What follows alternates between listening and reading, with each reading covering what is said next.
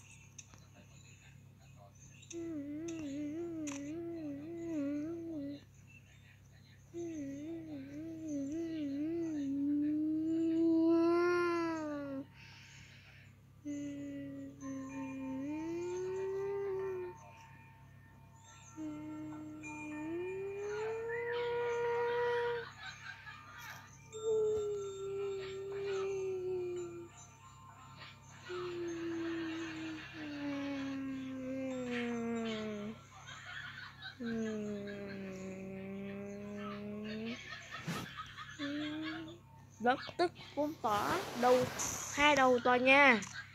Bởi vì hai tòa nhà này đã bị một vụ nổ cản lại, cho nên chúng ta không thể đi nào bằng được đường cùng đường cùng dẫn qua tòa tòa A được.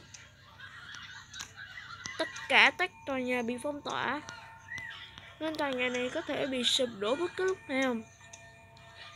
Hãy phun vòi rồng cực mạnh, tiếp tục phun các nước để ngăn ngọn lửa, cháy lan sang ở các thềm tường và các thềm nhà. Nhanh chóng di tản mọi người về nơi an toàn. Chúng tôi sẽ phóng phóng hết tất cả mọi thứ. Nếu những người nào vẫn còn yên ở tầng hầm thì hãy mau nhanh chóng bước đi lên. Bằng lối thoát hiểm.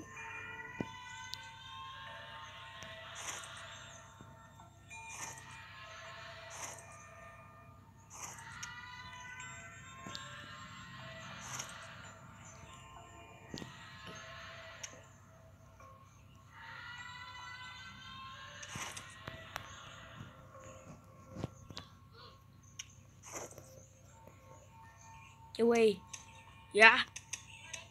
Lập tức di tản mọi người ra khỏi nhà này. Nhớ lên. Dạ Tôi biết rồi. Dạ tôi biết rồi.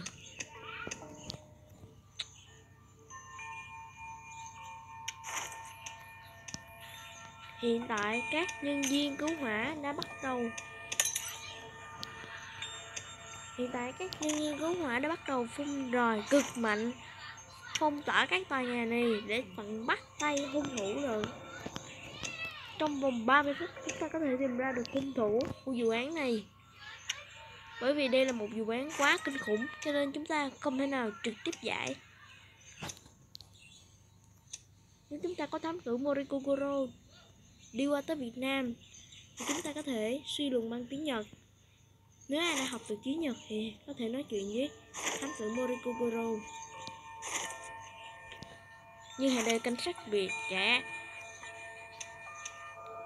Nếu không thể tin thì ai? Đây có thể là một vụ án khủng bố của tập đoàn DC Damashi Kepler City.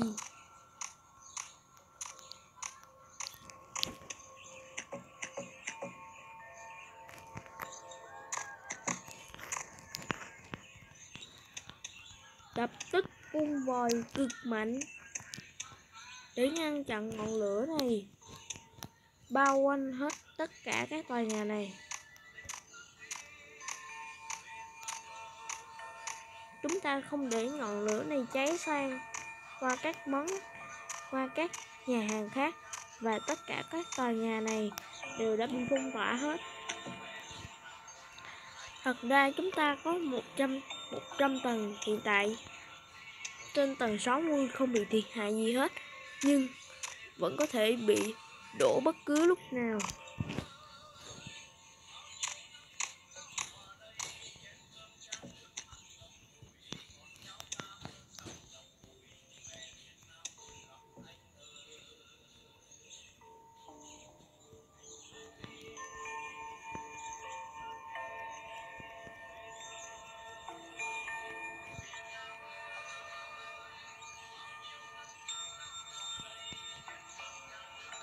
Đây chính là tòa tháp cao nhất trong Gaming CD, được gọi là Kepler CD Tower. Nhìn bề ngoài thì cũng giống, nhưng tòa bên tòa bên B thì có thể là cao bằng tòa nhà này. Nếu chúng ta đi qua thì không thể nào. Đây chính là một đáp án sai và chúng ta đã suy luận tất cả chúng ta không được không được phép dừng dừng những trận phun vòi nước này, bởi vì đây có thể là một vụ khủng bố. Trên đỉnh của tòa nhà cũng đang xuất hiện một quả bom, nhưng đội chuyên nhau quả bom đã rơi đã có ở trên trực thăng cho nên họ đang gỡ bỏ quả bom thành công. Và quả bom thứ hai.